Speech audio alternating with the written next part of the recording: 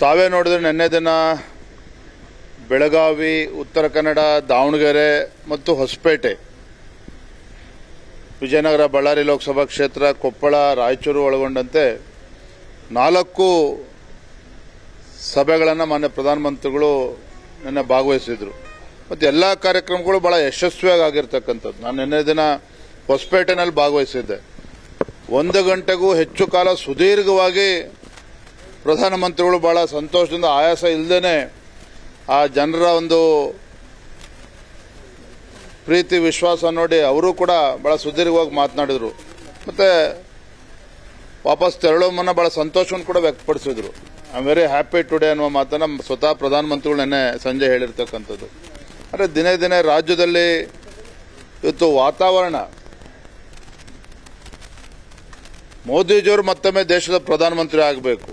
ಈ ವಿಚಾರದಲ್ಲಿ ಯಾವುದೇ ಗೊಂದಲ ನಾನು ಮತದಾರರಲ್ಲಿ ನಾನು ಕಾಣ್ತಾ ಇಲ್ಲ. ಪಕ್ಷಾತೀತವಾಗಿ ಎಲ್ಲ ಸಮುದಾಯ, ಎಲ್ಲ ವರ್ಗದ ಜನ ಇವತ್ತು ಈ ದೇಶದ ಭವಿಷ್ಯ ನರೇಂದ್ರ ಮೋದಿಜಿಯವ್ರ ಕೈಯಲ್ಲಿದೆ.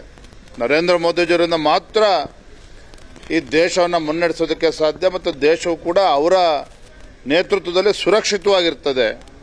ಈ ಭಾವನೆ ಪ್ರತಿಯೊಬ್ಬರೂ ಕೂಡ ಬಂದಿದೆ, ಅದು ಸತ್ಯನೂ ಕೂಡ ಹೌದು. ಹಾಗಾಗಿ ನಮಗೆ ಸಂಪೂರ್ಣ ವಿಶ್ವಾಸ ಇದೆ. ಮೊದಲ ಹಂತದ ಮತದಾನ ಮೊನ್ನೆ ಇಪ್ಪತ್ತಾರನೇ ತಾರೀಕೇನು ನಡೆದಿದೆ. ಬಹುತೇಕ ಎಲ್ಲ ಕ್ಷೇತ್ರದಲ್ಲೂ ಕೂಡ ಬಿಜೆಪಿ ಮತ್ತು ಜೆಡಿಎಸ್ ಪಕ್ಷ ಗೆಲ್ಲುತ್ತೆ ಅನ್ನೋ ವಿಶ್ವಾಸ ನಮಗೂ ಕೂಡ ಸಂಪೂರ್ಣವಾಗಿದೆ. ತಾವು ಕೂಡ ಮಾಧ್ಯಮ ಅದನ್ನೇ ಹೇಳ್ತಾ ಇದ್ದೀರಿ. ಎರಡನೇ ಹಂತದ ಚುನಾವಣೆ ಏನಿದೆ? ಏಳನೇ ತಾರೀಕು.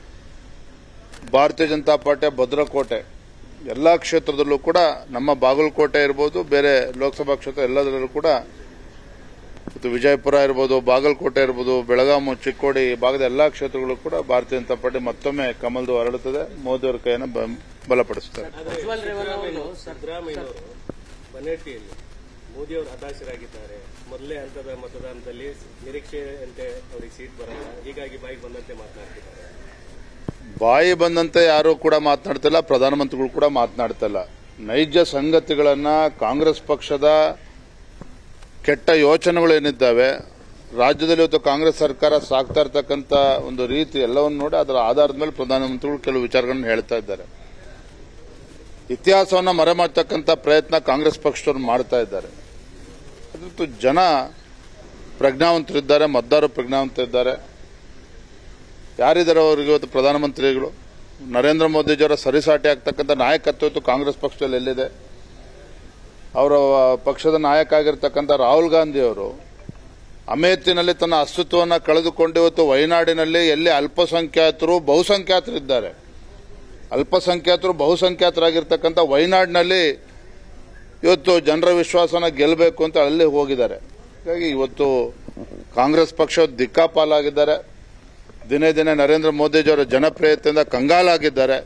ಹಾಗಾಗಿ ಈ ರೀತಿ ಮಾನ್ಯ ಮುಖ್ಯಮಂತ್ರಿಗಳಾಗಲಿ ಕಾಂಗ್ರೆಸ್ ಪಕ್ಷದ ಏನ್ ಮಾತನಾಡ್ತಾರೆ ಇದಕ್ಕೆ ಕವಡೆ ಕಾಸಿನ ಕಿಮ್ಮತ್ತಿಲ್ಲ. ಜನ ಇವತ್ತು ನಮ್ಮ ಜೊತೆಲಿದ್ದಾರೆ. ನಮಸ್ಕಾರ.